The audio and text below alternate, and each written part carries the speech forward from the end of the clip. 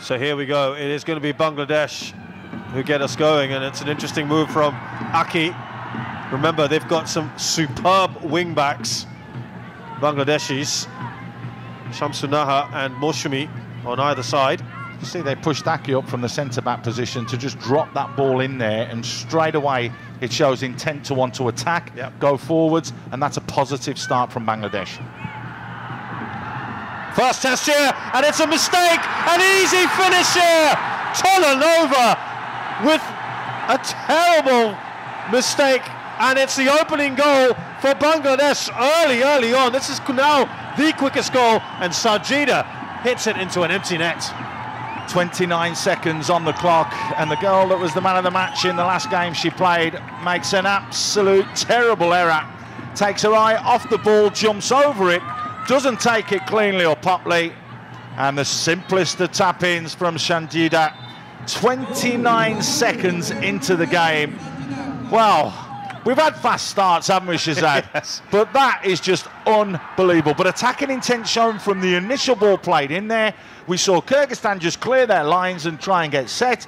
But because they went to attack, they've been rewarded straight away. Brilliant stuff, and uh, well, I'm afraid we've seen a number of big goalkeeping errors in this tournament.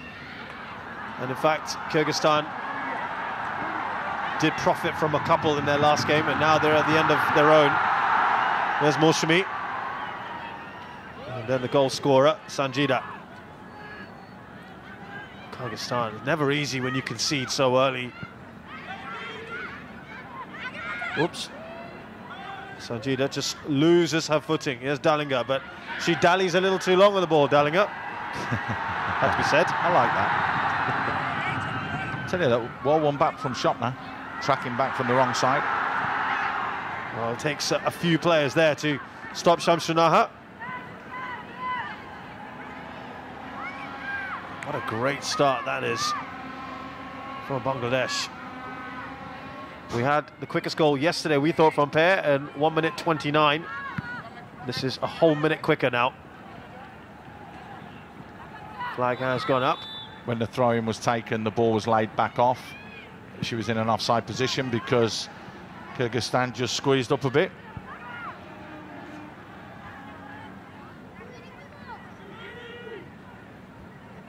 It's not a foul, even though that was a foul there. It stamp more than anything. Hamazanova just catching up. I think we could be in for goals today. I know that after the game, the last match day for Bangladesh, they had a recovery session the next day, and they have been working incredibly hard on the training pitch and the training field on the finishing. But if, if anyone has been turning around and having a go at this team, how can you have a go at a team that within the first 30 seconds shows that much intent to go and win a game Yeah. that early in the match? Ridiculous. They've absolutely shown determination, haven't they? Right from the kickoff, literally from the kickoff. You, you asked me the question, Sazad, what do you do mentally as a player? That's what you You do. do. You let the football do the talking, and that's exactly what the girls have done today. Well done, Bangladesh. What a great statement of intent that was as the ball comes across. Rupna, as she is wont to do, very quick to advance. Oh, lovely turn from Shamsunaha. Th- This is the kind of confidence that they've exhibited right from the very start of this tournament. And it grows from the keeper, showing a confidence there. Slightly under hit with the pass, but just got away with it. And that uh, little midfield pivot, Maria and Monica. So good for Bangladesh. Look, they're trying to make themselves available in the holes, and they're getting the ball fed to them, and now it's easier to pick themselves through this defence. Here's Shamsunaha.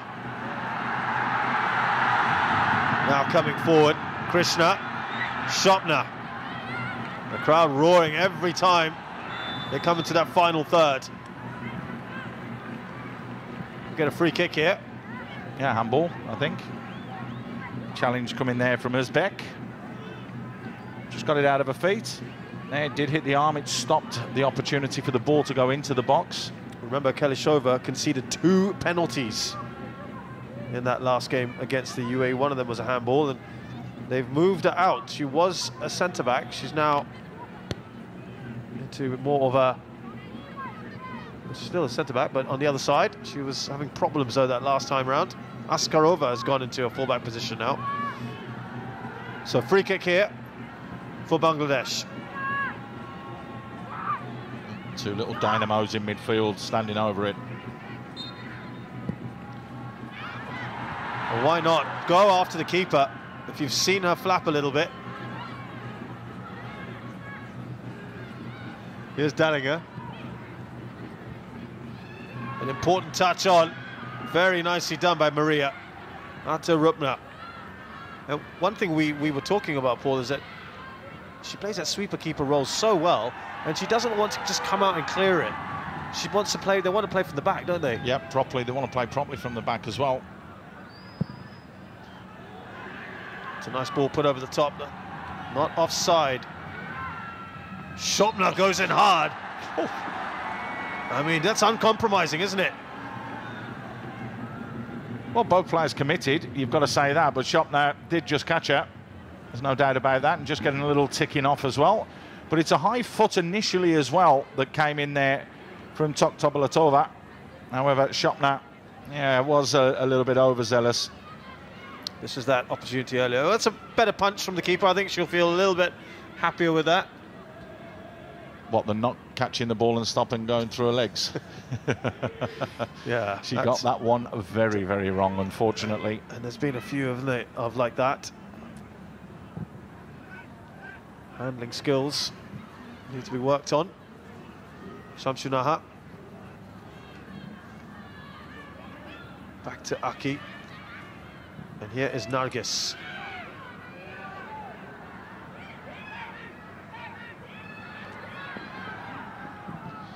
Speculative attempt, not a problem at all. That was a little bit loose then from Monica. Maria picked the ball up and just fed it to her, made an angle. She tried to play it back, but it was undercooked.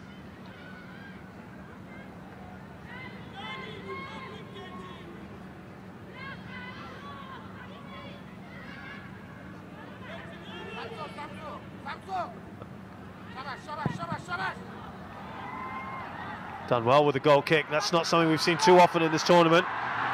Look at that. Determination and pace again by Shopner.